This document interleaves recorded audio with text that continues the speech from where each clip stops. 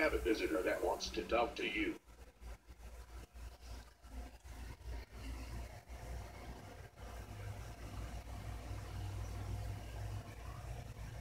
Eric, I heard that you're going to be executed. But that, I'm sorry. Can you please let me out? No, I hope you suffer in jail and burn in hell. Goodbye forever.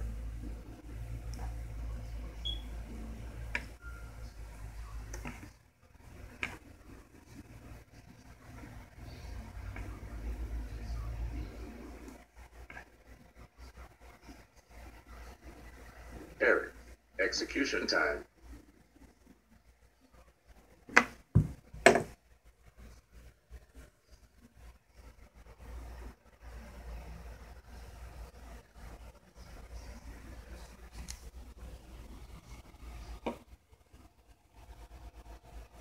Follow me to the execution chamber.